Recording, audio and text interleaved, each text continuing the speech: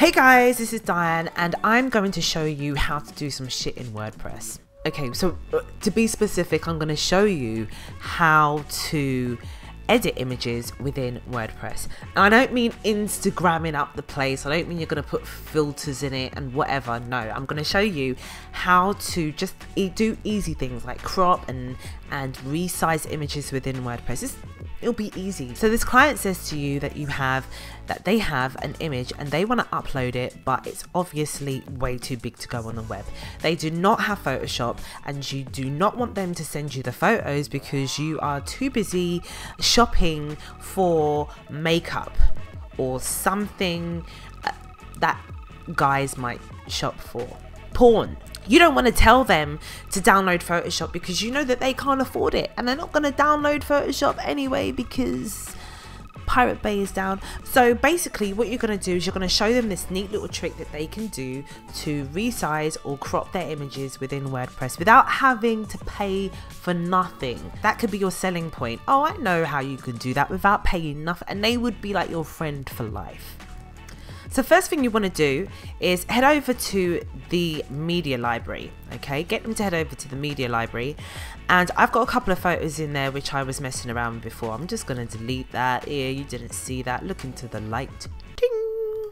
Okay, so I'm going to upload an image which is just way too big to go on the internet. This image is so big that my ex is slightly jealous of it okay? So it says here it is 5760 pixels wide. You do not need anything to be that big. Look even she's shocked. She's like what the fuck?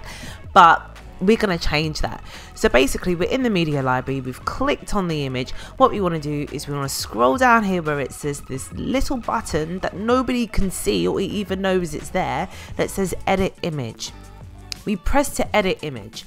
And it will show us a smaller version of the image. Basically what you want to do is you want to scale this image down. As you can see here we have a box here that says scale image but basically before you do any other editing on here and the other editing which I'm going to show you is the cropping and the flipping and the rotating and everything else. So the best thing for you to do is to actually scale it first before you do any of that. I want this to be let's say 1500 pixels wide and as you can see it on the right hand side it automatically automatically my friends. It automatically um what's it doing again? Um it changes the dimensions. So then we don't have to worry about okay so if I make it 800 pixels wide how big does it have to be high? You see it does it automatically for us so that's perfect. So I'm going to put this back on 1500 or 1500 if you're from the UK and I'm going to press scale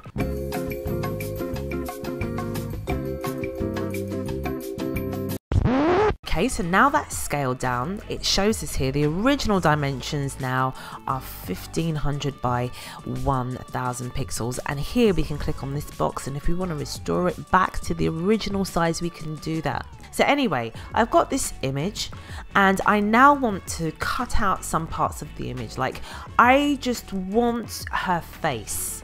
That's it. I just want her face like that. Okay. So I literally just got my uh, cursor and drew over the part that I want. I can resize it by using like these little anchors. You can see I can have this part, I can have this part. I can, you know, resize it to however I, um, however I, however I want it to be. And if you have a look here on the right hand side, we've got image crop and this section here is showing us where we are in like what the size of this section is okay? Once I've picked out the required section I can now press this button here to crop it. And now I have just got her face. That's all I wanted.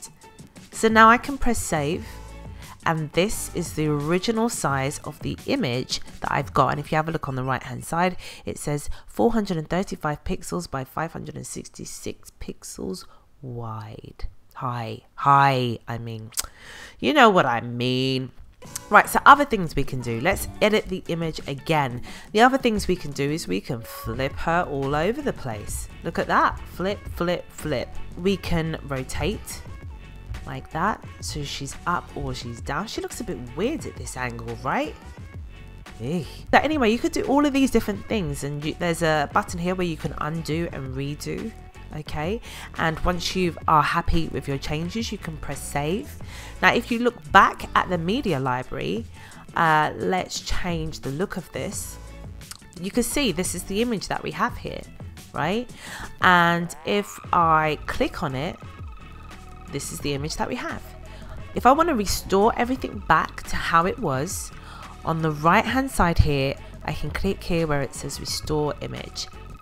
And once I've done that it goes back to the normal image again how easy is that? Okay, so let your clients know that they can do this within WordPress, and you don't have to be doing the mundane tasks of, you know, resizing stuff uh, when they can easily do it themselves. Okay, now that is basically it. And if you did not know what I just did there, let's take a moment of silence for the loss of your ignorance.